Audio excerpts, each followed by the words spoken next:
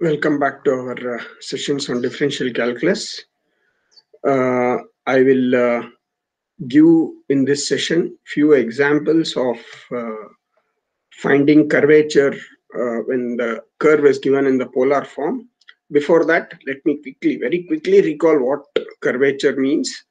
Uh, we know if you take any curve y equal to f of x in Cartesian plane, pick any point on the curve let's call it P, draw a tangent to the curve at P, then angle between the tangent and the positive x-axis. I call that psi, and then how the psi angle psi is changing with respect to uh, arc length. Uh, that is, uh, when I move on the curve, how fast I am moving means how much I am moving and how the angle corresponding angle is changing. Magnitude of that is called the curvature. This is what it is. In symbols kappa is the curvature. d psi by ds is called curvature of p curvature of the curve at that point. And uh, very often we need reciprocal of curvature which is called radius of curvature. So by definition 1 by rho which is one uh, radius of curvature is 1 by kappa which is d mod of ds by d psi. But uh, in real life we rarely get relation between s and psi. Uh, we get relation between y and x or curve we'll know it as um, relation between r and theta or x and y. Never rarely s and psi.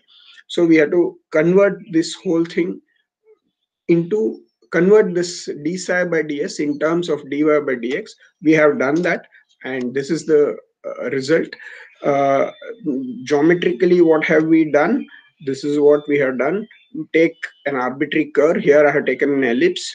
Pick a point on that curve and uh, then draw a tangent.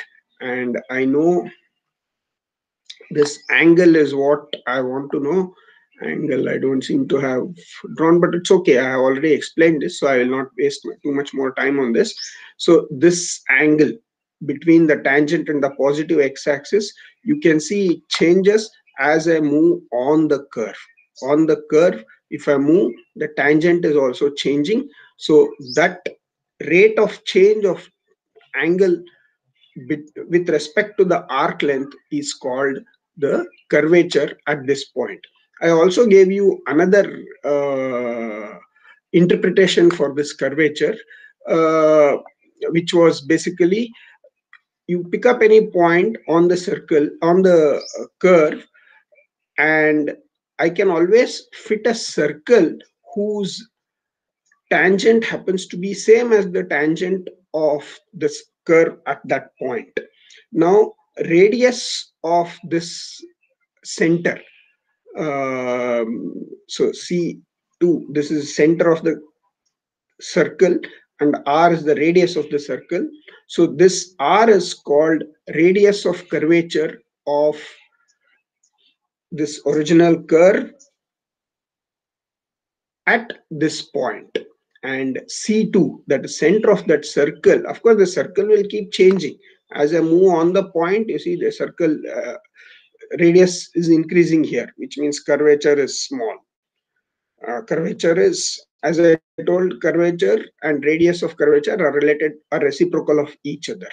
So this is all this we have already explained that, and even I have given explicit uh, where the uh, radius of curvature is very small. For example, in these kind of points, radius of curvature is very small, and these kind of points, radius of curvature is very large. The picture is not exactly accurate, but I'm sure you can make out what I'm trying to tell. It's the tangent the rate of change of tangent with respect to s is high in this region whereas it's very sorry very high in this region and very low in this region. So radius of curvature is pretty high in this region and radius of curvature is low in this region. So for all this we have got expressions also. Uh, those expressions are here. Rho is this and once i find rho I, if I know y equal to f of x, then all I need to do is to find dy by dx and d square y by dx square and plug in these values in this. Rho at a given point, I have to evaluate dy by dx and d square y by dx square at that point. So we have seen very uh, uh, these exceptional cases I already told, so I'll not spend my time. And center of coordinates, center of curvature, coordinates of that is given by this formula. This is also I told you the VTU doesn't give you there's no need to understand the proof of this. It's not very difficult. It's pretty easy. But i will not spend time on giving the proof. But this formula you need to know from the examination point of view. And if the curve is given in polar form then this is rho. That is uh, radius of curvature. Uh, sorry curvature is there sorry uh, rho is radius of curvature. This is the radius of curvature so we have seen several examples when y is given explicitly in terms of f of x. First we did for circle, then we did for parabola.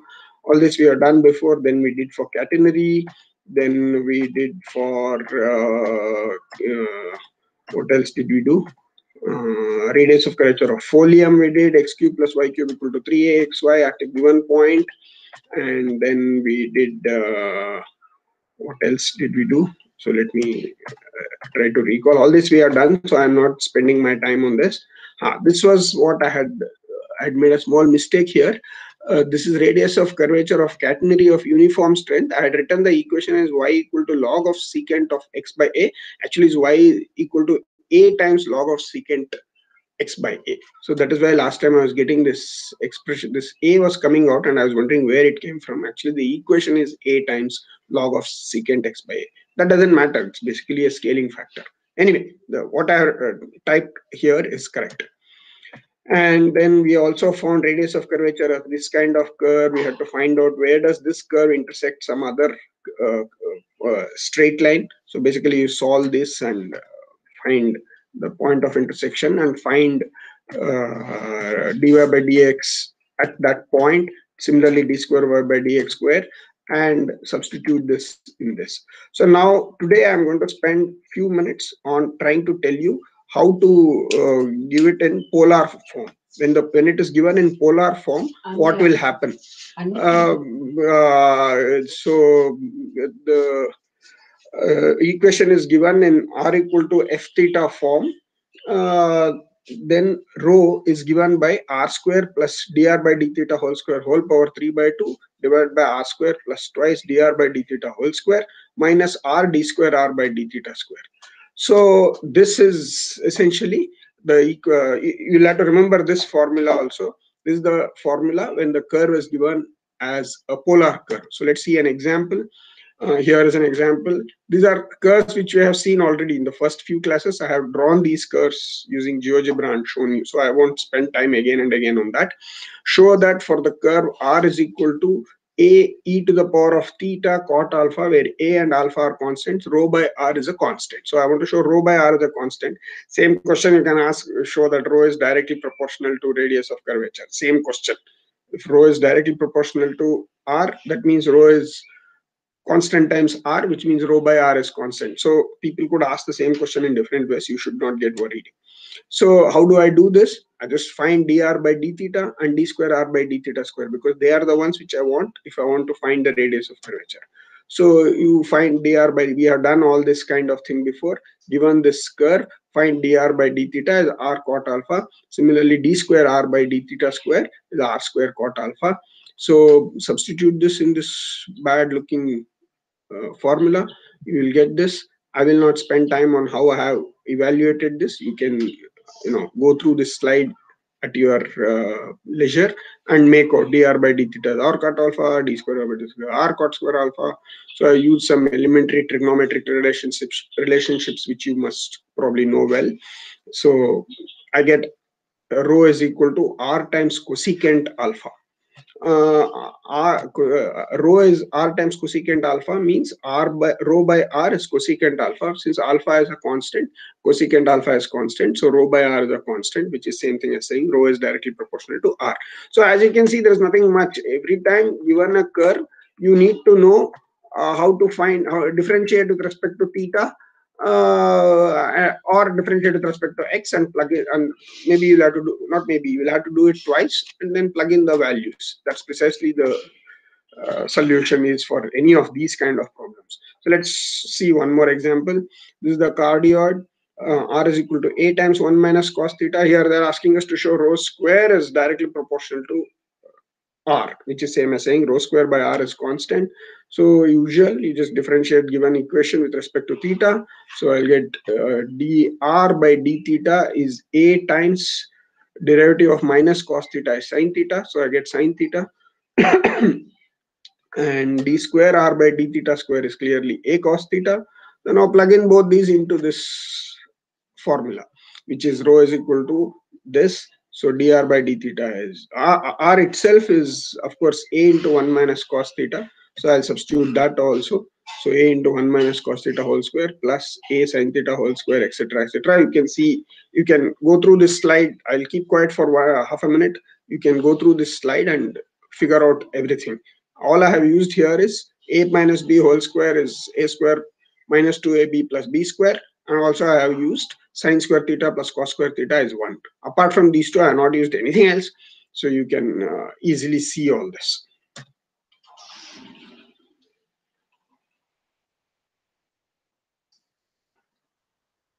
It's pretty straightforward. Elementary trigonometric manipulation.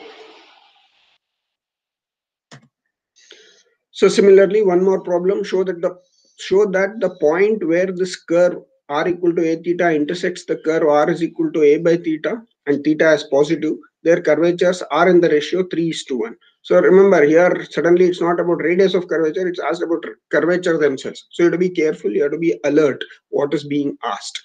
Uh, we know formula for radius of curvature. For curvature is just reciprocal of it, so it's not an issue, but you should be aware of this. Uh, so to first, so understand the question. Question says, I have two curves. One is r equal to a theta, another is r is equal to a by theta. Where they intersect, I want, I mean, they may intersect at several places, I don't know. Uh, but I want wherever theta is positive, I want to check where do they intersect. And at that point of intersection, I want to find the curvatures of both curves and see if they are in this ratio.